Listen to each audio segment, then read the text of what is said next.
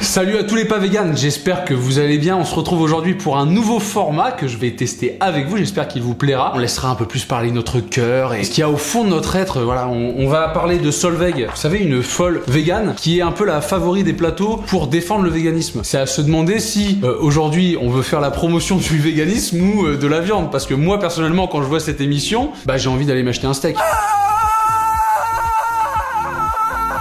Et d'ailleurs, je profite de cette vidéo pour déguster un bon magret de canard, AOP bien sûr, hein, qui a été élevé dans le respect. Et d'ailleurs, il finit sa vie dans le respect parce que vous pouvez voir qu'il y a une assiette assez grande. C'est le format plein air partout, de l'élevage à l'assiette. Voilà.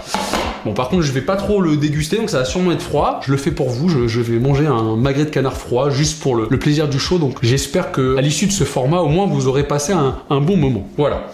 Donc, cette soirée Galouin qui a réveillé, égayé notre curiosité à tous, qui nous a fait passer un moment exceptionnel, 20 minutes d'hystérie, une folle qui hurle avec des gens autour qui pourtant restent plutôt calmes, qui ne l'insultent pas. Que fait cette personne qui devrait être, je pense, hein, sans méchanceté? Cette personne devrait être dans un hôpital psychiatrique. On va revoir ensemble certains passages. C'est pas normal d'avoir quelqu'un qui ne peut pas articuler une phrase sans hurler.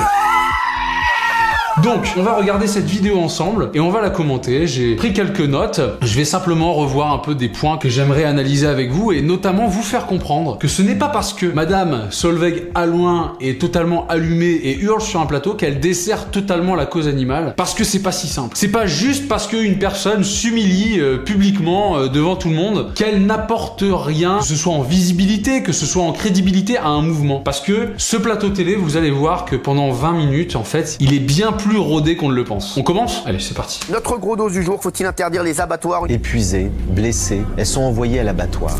Certaines sont électrocutées directement à leur arrivée à l'abattoir. On va avoir un débat entre deux personnes qui s'opposent idéologiquement. Donc ils choisissent d'opposer, voilà, clairement, viandard versus la végane. Ça, c'est une chose. C'est la télé, on veut créer des polémiques et puis euh, c'est toujours comme ça. Par contre, ce que je trouve vraiment limite limite pour commencer un débat, c'est de montrer des images atroces d'abattoirs sans contrebalancer avec ce qu'il peut se faire de bien. Alors que ce soit des éleveurs qui font du plein air, mais même aujourd'hui, on a des projets en France d'abattoirs à la ferme qui ont été lancés récemment et ça aurait été l'occasion de les mettre en avant. Et là, clairement, TPMP a pris le parti de ne montrer que des images les plus atroces de ce qui peut exister. Donc c'est déjà, malgré que je suis sûr que sur le plateau télé, là, 95% des gens mangent de la viande, ils ont choisi de prendre parti pour les véganes. Donc je trouve que c'est déjà intéressant. Avant même que le débat soit posé, le ton est déjà donné en fait. Ça va être du pro-vegan. Merci, vous êtes militante et, et activiste.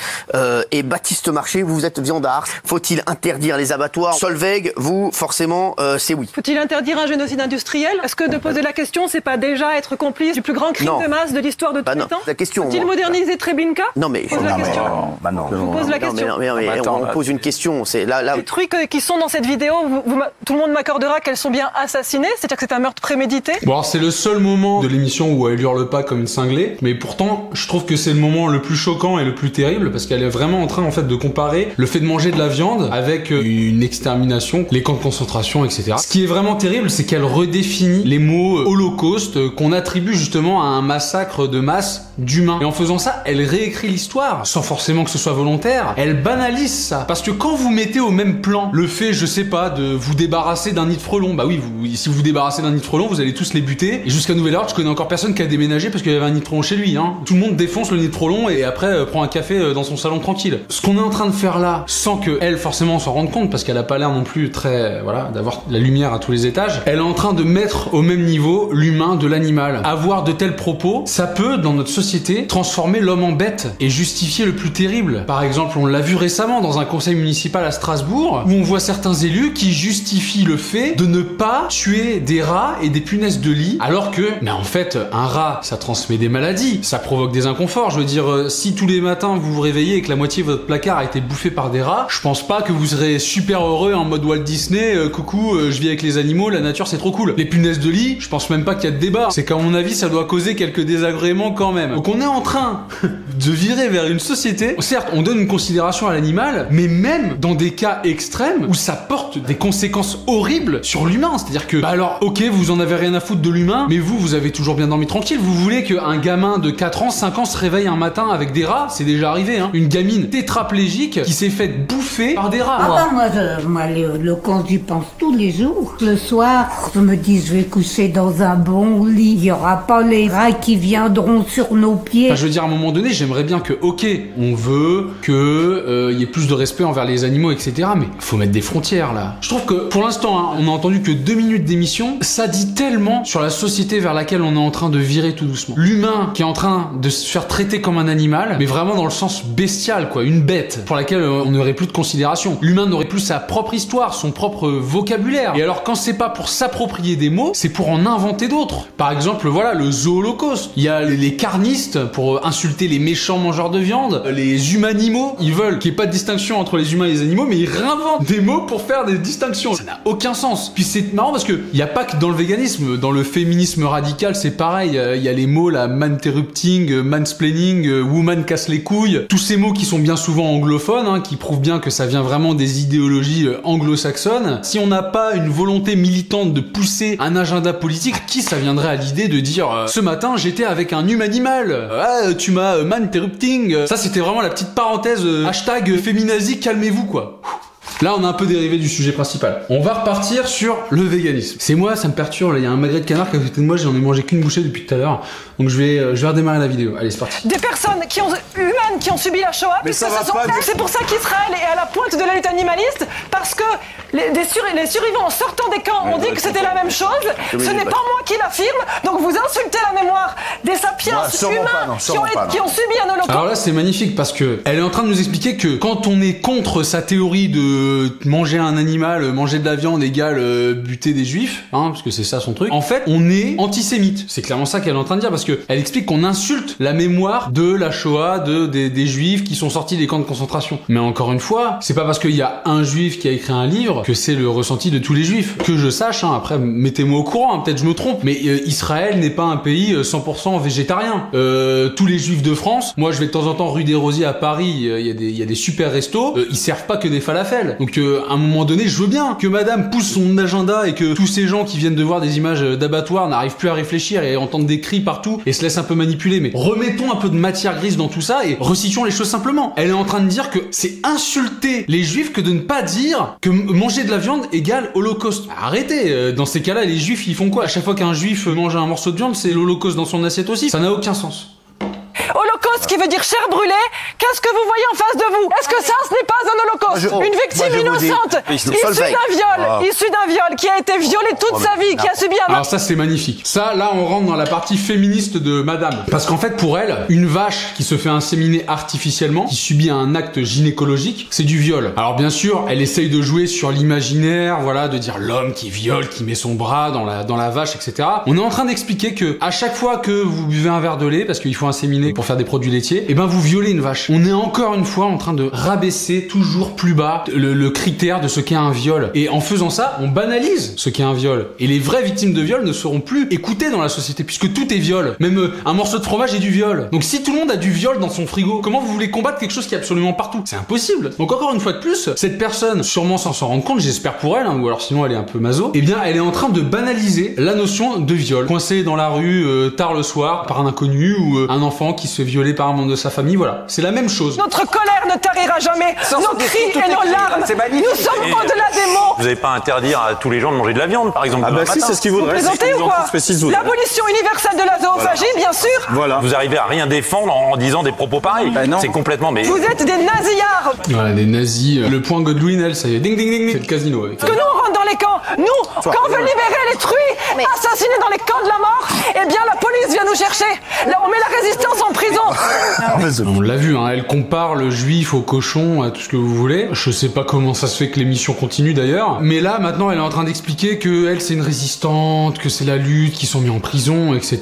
Elle est en train de nous créer ce qu'on appelle le triangle de Cartman. C'est-à-dire que vous avez euh, la victime, les animaux, qui là, c'est bien pratique, ils peuvent pas s'exprimer. Donc ils peuvent pas lui dire si elle raconte plein de conneries. Moi, quand je regarde dans la nature, je trouve que les animaux, ils ont pas l'air trop d'accord avec sa théorie de d'arrêter de se bouffer entre soi. Mais bon, après, c'est peut-être que moi qui... Bah, en fait, je comprends pas trop cette obsession que peuvent avoir certains à vouloir que tout soit euh, parcellisé et qu'on bouffe tous de l'herbe, ce qui est totalement dénaturé l'ensemble du vivant. Je veux dire, il y a des animaux qui mangent de l'herbe, d'autres qui mangent de la viande, d'autres qui mangent les deux. Et en fait, c'est ça qui fait la diversité, la biodiversité. C'est un ensemble de, chaînes alimentaires entre le minuscule, le grand, le végétal, l'animal. Et c'est ce qui fait que cette nature, elle est aussi belle. Donc déjà, il une espèce de déni de ces fondements de la vie qui sont liés à notre déconnexion permanente de ce qu'est réellement la vie. Parce que ce qui est marrant avec ces véganes qui détestent profondément l'humain, que dans notre société actuellement, tout le confort qu'ils ont, c'est grâce à l'humain. Cet humain qu'ils détestent tant, c'est lui qui leur donne tout le confort. Et si demain on leur enlève, en fait, ces animaux qu'ils vénèrent, eh ben ils se retrouveront au milieu d'eux, dans une relation beaucoup plus sauvage et brutale. C'est pour ça que le chasseur-cueilleur, celui qui vivait avant le néolithique, euh, n'avait pas cette compassion pour les animaux. Il avait un sens du respect de l'animal dans le sens où il avait des rituels autour de la nourriture. Mais par contre, il avait faim, il mangeait. Je veux dire, euh, c'est absurde. Là, on est en train de virer dans une société totalement névrotique. On est en train de discuter sur ce qu'on aurait le droit ou pas de manger. Mais si vous avez envie de le manger, c'est que votre corps le demande, le réclame. Je veux bien après qu'on parle de santé, de tout ce que vous voulez, mais à un moment donné, là, ce qu'on voit, je sais pas vous, hein, mais moi, ça me donne envie de doubler mes rations de viande. hein. Au-delà de ces cris, il faut entendre ce qu'elle dit. Effectivement, ces animaux, c'est des victimes. Non, mais c'est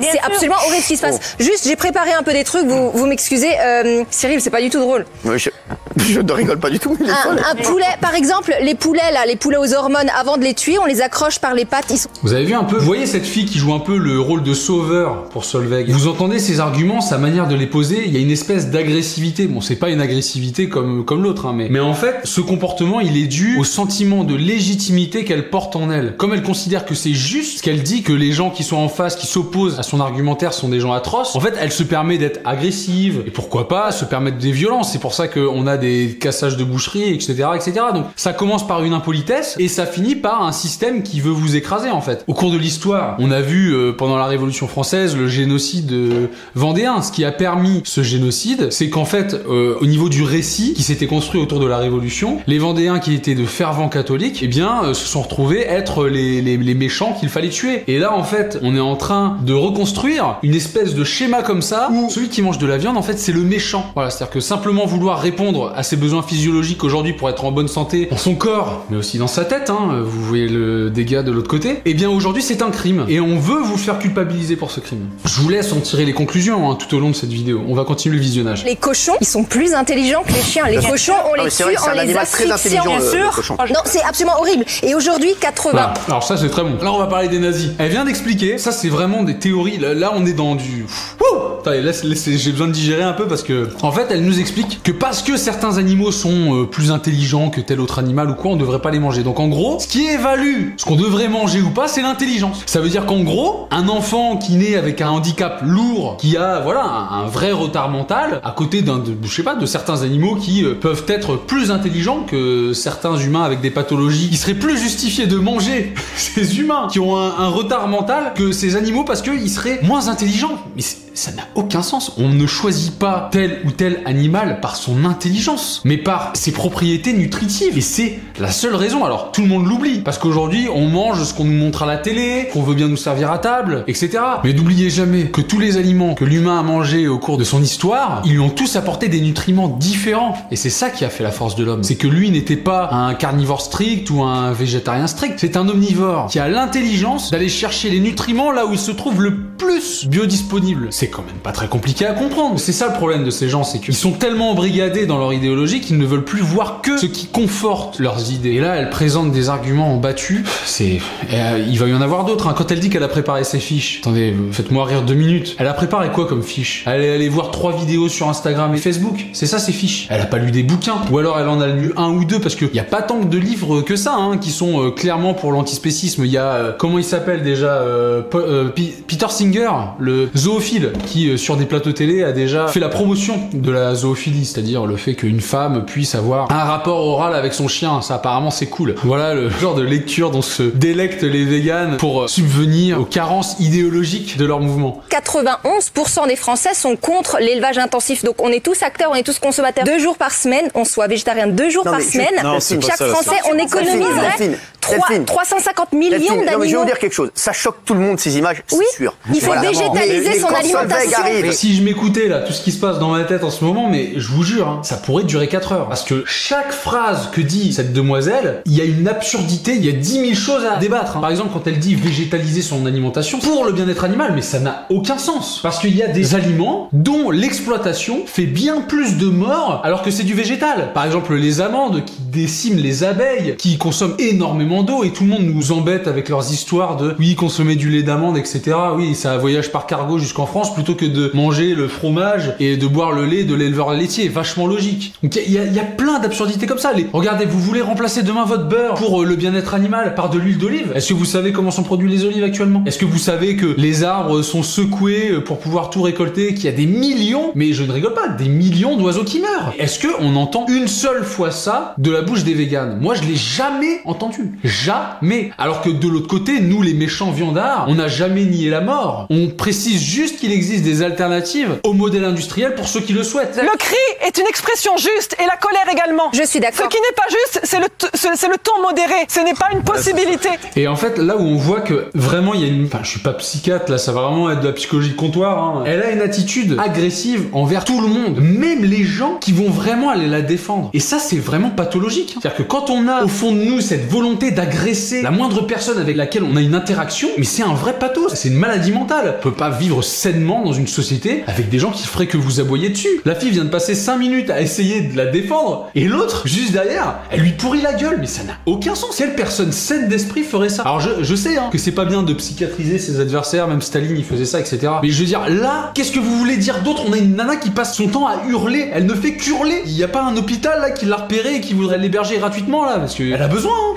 Ah, milliards pour de victimes. Un peu plus là. Solveig, est-ce qu'on peut avoir l'avis euh, de, Bah non, de Baptiste jamais, euh, il- Baptiste, allez-y. Alors Comment déjà, osez-vous donner déjà, la parole à Bah, l'extrême droite Ah, mais- on a- on est des nazis. Ah, vous voyez, ça c'est un truc qui est terrible. C'est-à-dire que parce que tu défends la consommation de viande, t'es d'extrême droite. Ça n'a aucun sens. Combien de fois j'ai pu voir, oui, t'as fait une vidéo avec telle personne, t'es allé voir telle personne, donc t'es d'extrême droite. Moi, je parle bouffe. Moi, je parle élevage, ruralité. Donc oui, il y a des gens que je vais aller voir, des éleveurs, des bons vivants. Certains vont être de gauche, certains vont être de droite. Mais en fait, c'est pas le débat sur ma chaîne YouTube. J'en ai rien à foutre. Moi, ce que je veux, c'est qu'on puisse tous se réunir autour d'une table, puisse manger calmement. Enfin, calmement, on peut rigoler, on peut chanter, hein, mais disons pas avec des tarés qui hurlent. Y a pas d'histoire de politique, ça. Vous laissez ça dehors. Elle met sa main sur l'écran. Il faut comprendre. Et c'est elle, la ça vous nature est choque les images chaîne Parce qu'on comprend, on comprend ce qu'il y a dans le regard. Abolissons la zoophagie Donc là, on a l'intervention de la végane modérée qui va nous expliquer que une mort, c'est quand même une mort, etc., etc. Donc on est toujours dans de l'idéologie. Ce que cette nana ne vous explique pas, c'est que, bah, comme d'habitude, hein, ça change pas. Élevage comme agriculture, dans les systèmes de production de nourriture, il y a des morts. Alors certes, ils sont pas placés au même endroit. Dans l'agriculture, ils sont pas en bout de chaîne, c'est pas ce que vous allez manger. Mais pour produire, par exemple, du blé, eh il y a des animaux qui sont passés à la moissonneuse, qui se font écraser par les machines agricoles, et puis en fait, bah, on sait pas produire autrement, hein. À moins que vous vouliez qu'on retourne tous dans les champs, mais alors dans ces cas-là, on repart pour l'âge de pierre. hein. Et je peux vous dire, ça va aller vite. Hein.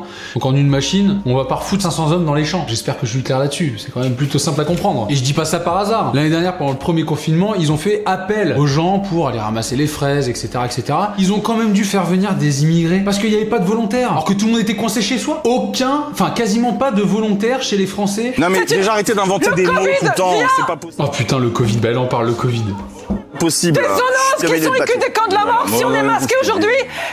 Bah oui, et tous les scientifiques le disent, c'est à cause de la viande qu'il y a le Covid. Hein. Et en fait, c'est parfaitement faux. C'est tout ce qu'on pensait au début avec les marchés d'animaux sauvages, tout ça, tout ça. Et là, de plus en plus, ils se tournent vers le laboratoire P4 et d'autres théories. Et ils ont vraiment écarté la piste du marché d'animaux sauvages. Donc, mademoiselle, euh, madame, enfin, ce serait bien qu'elle se mette à jour. 40% des individus morts dans les Solveig, Vous êtes en train d'enterrer votre combat. Vous êtes en train d'enterrer votre combat là. Je. Je suis désolé, mais là, mais elle dit trop de conneries. Non, il n'y a pas 40% d'animaux qui meurent. Vous imaginez la perte que ça ferait pour l'éleveur Il ferait pas de thunes. T'imagines La moitié des animaux que t'élèves, ils meurent avant que tu les emmènes à l'abattoir. Enfin, ça n'a aucun sens. Vous êtes en train d'enterrer votre combat là. Je m'en fous Ne Bah vous en foutez, mais là vous faites c'est contre-productif. Vous entendez? Vous êtes contre-productif à votre combat et elle dit je m'en fous. On a bien une tarée. La meuf, elle est censée être là pour défendre sa cause. On lui dit vous décrédibilez votre cause. Sa réponse, c'est pas de dire non, c'est la bonne méthode, c'est de dire je m'en fous. Même elle, ouvertement, reconnaît qu'elle en a rien à foutre de la cause végane. Si c'est pas de la pure folie, c'est-à-dire qu'en fait, elle est juste en train d'exister. Voilà, c'est son moment d'existence. Tous les deux mois, trois mois, on invite la folasse sur les plateaux pour hurler au véganisme. Et elle existe. Et la cause végane, je m'en fous. C'est vous, Euh, euh, La colère ne marche pas Le calme ne marche pas Vous voyez un peu comment on peut philosopher sur une folle Mais ce qui est bien, c'est que à l'inverse de Baptiste, moi je peux la couper quand je veux. Vous voyez là, j'appuie comme ça, bam, tu fermes ta gueule. Ça c'est bien. Ça c'est la seule manière qu'on peut avoir un débat avec une folle comme ça. 80% des abattoirs ne respectent pas les règles. C'est vrai que même Alors, avec des règles, ça voilà. peut pas bien se Bon, passer. non, mais si, parce ça que mais steak, c'est de la douleur. Il faut végétaliser son alimentation. Non, le steak c'est pas de la douleur forcément. Madame n'a sûrement jamais fait de, de sport de combat, mais vous pouvez vous retrouver absolument KO avec zéro douleur. Il suffit juste de neutraliser le système nerveux. Ça c'est clairement un manque de connaissances en biologie. Il est possible de mettre quelqu'un HS hors état de nuire, hors de conscience, sans lui faire aucune douleur. Il suffit de neutraliser son système nerveux et pour ça un, très gros choc dans la tête. euh, Voilà l'utilisation du perforateur cérébral, ça ça marche très très bien. Il y a zéro douleur. J'ai fait des sports de combat, je me suis pris des KO des fois à l'entraînement, zéro douleur. Encore une fois, c'est un mensonge. C'est un mensonge. C'est-à-dire que là, il y a une succession de mensonges. Mais il faut savoir que c'est logique parce qu'en fait, le fait d'avoir une folle qui hurle comme ça pendant 10 minutes, ce qui se passe dans la tête d'une personne, on va dire moyenne, basique quoi, c'est qu'elle ne peut plus raisonner. On appelle ça être dans un état de sidération. On peut pas, quand on est, on est comment dire, bloqué par ses émotions, avoir un raisonnement logique. Donc en fait, on ne fait que encaisser ce que la personne dit. Quand vous terrorisez quelqu'un, vous pouvez lui faire admettre euh, les pires crimes qu'il n'a pas commis. Soyons concrets. Prenez un Changeons les c'est la même architecture qu'Auschwitz Changeons les abattoirs. Mais c'est quoi cet argument de merde? Que une concentration était calquée sur l'élevage euh, C'est comme si je disais, euh, je sais pas, euh, j'ai le même pommeau de douche qu'à Auschwitz. Enfin, sérieusement, c'est débile. Ah, euh, j'ai le même carrelage dans ma douche qu'à Treblinka. So what? Quand tu dis oui mais moi je suis dans le plaisir gustatif. Bah oui. Moi aussi je le suis et tu sais qu'aujourd'hui Oh, il y a Le plaisir gustatif Ah De manger un bon steak industriel Hmm. Mais attendez, manger un steak, ça n'a jamais empêché personne de manger une salade de lentilles. Je veux dire, euh, moi regardez là, avec mon magret de canard, euh, j'avais des fèves. Le régime omnivore n'a aucune restriction. Tout ce qu'un vegan peut manger, on peut le manger. Moi, je vais juste reprendre des, des grandes personnes dans l'histoire qui se sont Oh, putain, la question ça. sur pourquoi manger ou pourquoi Oh, tuer des animaux. Et Non mais alors ça c'est non mais c'est un argument de débile. Elle a pris son petit papier et elle va réciter comme ça euh, 4-5 personnes véganes. Alors attendez, on va l'écouter. Pythagore, Non, mais- Darwin, Gandhi, Einstein. Alors déjà, elle a pas donné 150 noms et on a déjà des choses à dire. Einstein, il a jamais été végétarien. C'est pas parce qu'une fois t'as sauté la viande le midi que ça y est, t'es végétarien. Il a peut-être été une année de sa vie et je crois qu'il est mort juste derrière. Donc c'est pas très glorieux. Je pense qu'on on- on ferait mieux de zapper ce nom-là et cette petite histoire qui est pas très joviale. Gandhi, c'est faux. Toute l'Inde n'est pas végétarienne. Ça dépend les courants de pensée, etc. Pareil, Pythagore. Je suis désolé, mais il y a rien qui prouve à 100% qu'il a été végétarien toute sa vie. Il pouvait avoir une idéologie un peu ascétique qui consiste à voilà se priver de certains aliments, tout ça pour atteindre la pureté, voilà, parce qu'à un moment donné, dans certains courants de pensée antiques, il y avait cette espèce de recherche de la pureté par la frugalité. Mais il y a rien qui prouve solennellement que c'était pour le bien-être animal. Tout est beaucoup plus complexe. Et là, je vous parle de plein de trucs, mais l'argument massu au-dessus de tout ça, c'est que s'il y a peut-être eu 3-4 végétariens dans l'histoire, combien il y a eu de grands personnages historiques, d'inventeurs, d'intellectuels, de philosophes, tous les grands hommes qui ont fait l'histoire de l'humanité qui ne sont pas végétariens. En quoi c'est un argument qu'il y en a eu 3-4 C'est tellement faible. J'ai pris tout ça de notes, mais moi je suis un taré. Enfin, c'est pas que moi, il y a quelqu'un qui m'a aidé. Personne super, qui se trouve derrière. En tout cas, elle m'a bien aidé pour, pour prendre les notes et je les ai pas utilisées. Je pense que ça m'a aidé quand même à structurer ma pensée. Juste pour finir sur le sondage, mais vous vous rendez compte la débilité du truc quoi. 34% des gens qui veulent interdire les véganes. Alors, deux possibilités. Soit les gens sont complètement cons et n'arrivent pas à créer un lien entre leurs pensées et leurs actes, parce qu'il n'y a pas 34% de véganes en France, ou soit leur sondage il s'est juste fait pourrir de véganes qui sont allés voter en masse, quoi, c'est tout, c'est aussi simple que ça. Et moi ça me dérangerait pas, hein. Si 35% des Français veulent pas manger de viande demain, mais allez-y, hein. Faites-vous toutes les carences que vous voulez. Nous on récupère, hein. y a pas de problème. Franchement, faites. Croyez-moi, toute la viande que vous mangerez pas, elle sera mangée ailleurs. Là-dessus, vous trompez pas. À chaque fois qu'elle passe sur un plateau télé, été en face de Romain Leboeuf, l'un des bouchers les plus gentils que j'ai vu. Comme d'habitude, c'est du grand Solveig. On en a qu'une comme ça en France, qui est en tout cas invitée sur les plateaux télé, mais derrière les écrans, à mon avis, des comme ça, il il doit y en avoir pas mal. Surtout quand je lis tous les commentaires de haine et d'insultes que je peux me taper, comme si j'étais un criminel, que j'avais fait un génocide, hein, parce qu'apparemment c'est ce qu'on est, hein, des génocidaires. Donc euh, quelle est la pertinence d'inviter une telle personne? Moi je ne pense pas que ça ne fait que décrédibiliser le mouvement vegan, parce que euh, il y a des gens comme nous qui avons un argumentaire solide et une pensée solide qui ne nous laissons pas manipuler facilement, et il y a des gens qui vont être facilement sidérés, facilement euh, émotionnés par son attitude et qui vont se dire oui elle est elle est folle, mais si elle est folle, c'est parce qu'en fait, euh, peut-être que oui, elle a pas tort. En fin de compte, c'est quand même terrible ce que les animaux vivent, donc elle arrive pas à retenir son émotion. Pour moi, ça a été plutôt une fenêtre, une vitrine pour L214 et toutes les associations antispécistes, parce qu'il y a eu aucun contre-pouvoir, on n'a pas montré de petits éleveurs, on n'a pas vu ce que pourrait être l'élevage de biens. Pour moi, c'est pas ça un débat. Je suis pas hyper fan de TPMP, mais je vais pas mentir, des fois, je trouve quelques passages qui peuvent être intéressants. Il y a eu quelques débats que j'ai vu en replay sur YouTube que j'ai trouvé plutôt sympa, mais là, je trouve qu'on était vraiment dans le cliché de la télé poubelle. Ça a fait le show, mais il y a vraiment eu aucun échange d'idées, quoi. C'était caricatural, c'était vide de sens et d'intérêt. Tout ce que ça a fait, c'est ouais, faire culpabiliser un peu plus les gens, choquer un peu plus les gens, et, et pour les gens comme nous, bon, bah, ça, ça nous fait marrer forcément de voir une tarée qui hurle. Mais ne vous y trompez pas. Il y a des gens qui sont sensibles à ce genre de comportement, et ça leur fait quand même gagner quelques points dans leur combat idéologique complètement matrixé. Donc voilà, j'espère que ce petit format, euh, qui n'est pas du coup un petit format, qui va être un long format, vous a plu, mais en tout cas qui est frais. Merci donc d'avoir regardé ce format, et là je vais finir mes légumes tranquillement, parce que c'est un moment très intime, hein, et j'espère que vous, vous êtes en train de manger déjà un steak du boucher, pour honorer euh, justement... euh, Attendez. Putain, mais c'est bon. Ah, je crois que je deviens vegan. Non mais attendez, c'est c'est 100 fois meilleur qu'un magret de canard. Non mais c'est bon, c'est bon, là je deviens vegan. Salut. S'il y en a un seul qui a cru que des fèves c'était meilleur qu'un magret de canard, va vraiment falloir se mettre à jour au niveau euh, des papilles.